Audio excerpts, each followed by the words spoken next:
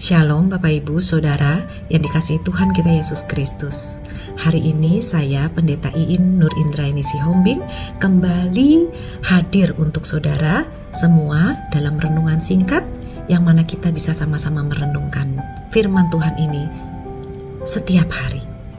Diambil dari Mazmur 145 ayat 18. Demikian firman Tuhan. Tuhan dekat pada setiap orang yang berseru kepadanya pada setiap orang yang berseru kepadanya dalam kesetiaan. Bagus banget ya firman ini. Berarti di sini Tuhan itu dekat dengan kita. Tuhan itu kalau dikatakan orang jaraknya sebatas doa. Di mana orang berdoa di ada Tuhan. Ya, benar. Dengan kita menyeru-nyerukan nama Tuhan, kan dikatakan Tuhan dekat pada setiap orang yang berseru kepadanya. Artinya berseru itu orang yang memanggil Tuhan dalam doanya kita ingin selalu dekat dengan Tuhan, ingin selalu berada dalam hadirat Tuhan, Tuhan beserta kita, panggil Tuhan dalam doa kita. Selalu bangun doa setiap hari, setiap saat, supaya Tuhan selalu beserta kita. Tuhan itu sebetulnya tidak jauh dari kita, Tuhan itu dekat dengan kita. Karena Tuhan itu selalu ada dengan kita setiap saat. Sedekat apakah Tuhan itu? Seberapa care-nyakah Tuhan itu pada kita? Mari kita simak sekali lagi. Setiap kali kita berdoa kepada Tuhan, Dia, Tuhan, itu di dekat kita. Tuhan memikirkan kita jauh lebih daripada kita yang memikirkan Tuhan. Tuhan itu memikirkan kita bahkan jauh sebelum kita dilahirkan.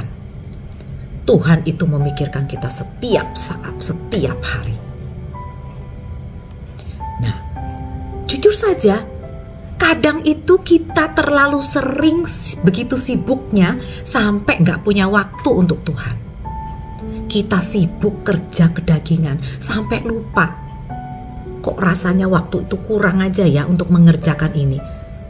Padahal Tuhan tunggu-tunggu kok si ini nih nggak manggil-manggil nama saya ya dalam doanya.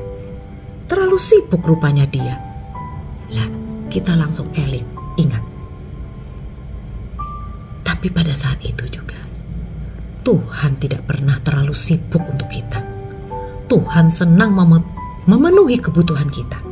Bahkan kebutuhan yang tidak kita minta pun Tuhan beri Tuhan itu tidak pernah mau melakukannya sambil menggerutu. Sekalipun kita kadang-kadang lupa untuk berdoa kepadanya.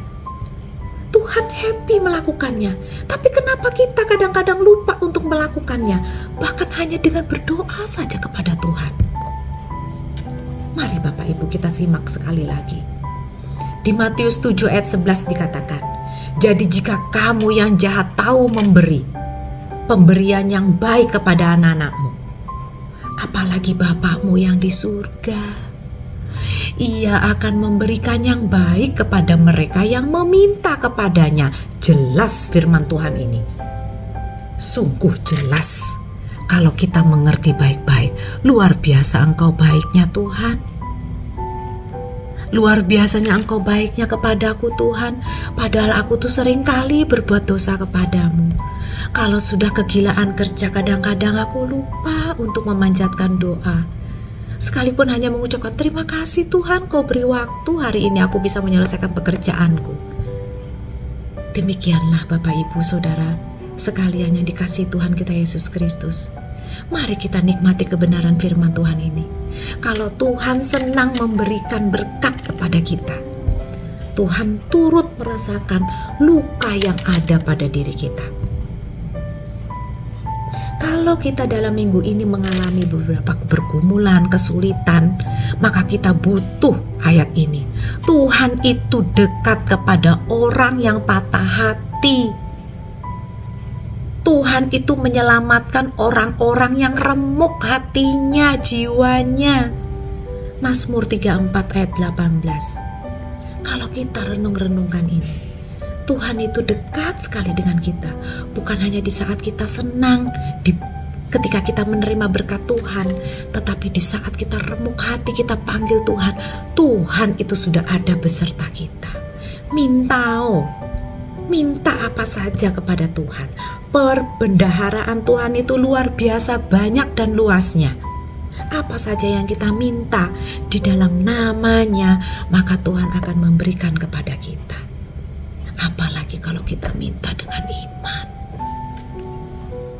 Tuhan itu dekat dan ada dengan kita. Dia maha hadir.